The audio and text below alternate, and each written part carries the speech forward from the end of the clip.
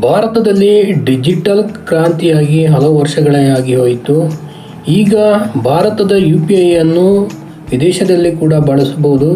ಹಲವು ದೇಶಗಳಲ್ಲಿ ಬಳಸ್ತಾ ಇದ್ದಾರೆ. ಈಗ ಮಾಲ್ಡೀವ್ಸ್ ಕೂಡ ಅದನ್ನು ಬಳ, ಬಳಸಲು ಅನುವು ಮಾಡಿಕೊಟ್ಟಿದೆ.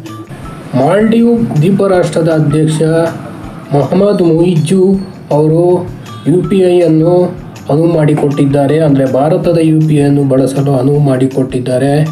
ಕಳೆದ ಸಲ ಅವರು ಭಾರತದ ವಿರುದ್ಧವಾಗಿ ಮಾತಾಡ್ತಾ ಇದ್ದರು ಇದರಿಂದ ಭಾರತೀಯ ಪ್ರವಾಸಿಗರು ಅಲ್ಲಿಗೆ ಹೋಗೋದನ್ನೇ ನಿಲ್ಲಿಸಿದರು. ಕೆಲವರು ಪ್ರವಾಸ ಹೋಗುವುದನ್ನು ಕೂಡ ಬೇರೆಯವರು ಹೋಗಬಾರ್ದು ಅಂತ ತಡೆಗಟ್ಟಿದರು.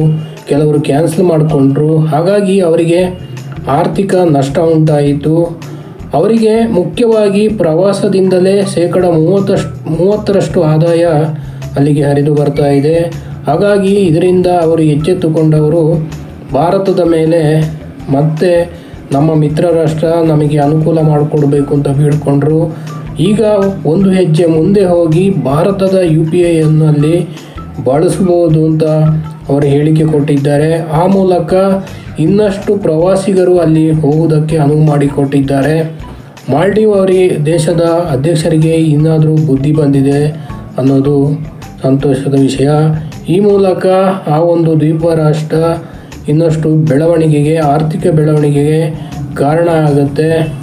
ಯಾಕಂದರೆ ಈ ರೀತಿ ಏನು ಡಿಜಿಟಲ್ ಕ್ರಾಂತಿಯಾದ ಕಾರಣ ಭಾರತೀಯ ಯು ಪಿ ಐಯನ್ನು ಅಲ್ಲಿ ಬಳಸುವುದರಿಂದ ಇನ್ನಷ್ಟು ಪ್ರವಾಸಿಗರು ಅಲ್ಲಿಗೆ ಹೋಗುವುದಕ್ಕೆ ಅನುಕೂಲ ಆಗುತ್ತೆ. ಹಾಗಾಗಿ ಇದೊಂದು ಒಳ್ಳೆಯ ಬೆಳವಣಿಗೆ ಅಂತ ಹೇಳ್ಬೋದು. ಇನ್ನಷ್ಟು ವಿಡಿಯೋಗಳಿಗಾಗಿ ಚಾನಲ್ ನೋಡ್ತಾ ಇರಿ, ಸಬ್ಸ್ಕ್ರೈಬ್ ಮಾಡಿ, ಶೇರ್ ಮಾಡಿ, ಲೈಕ್ ಮಾಡಿ. Thank you.